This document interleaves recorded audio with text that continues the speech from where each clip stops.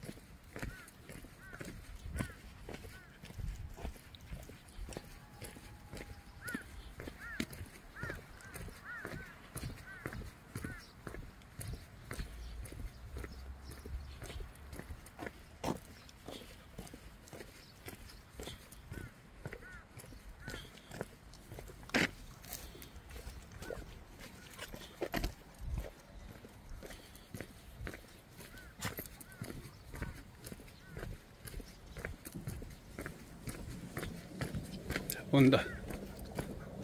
와.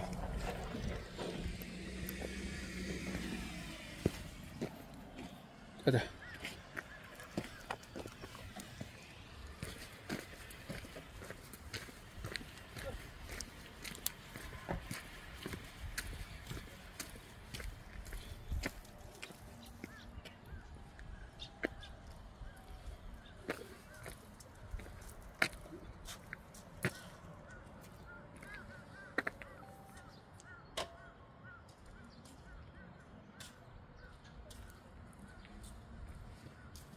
거기 막힌 길이었잖아.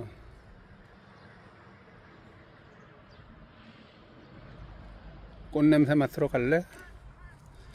막힌 길인데 아카시아 꽃 냄새 나는 곳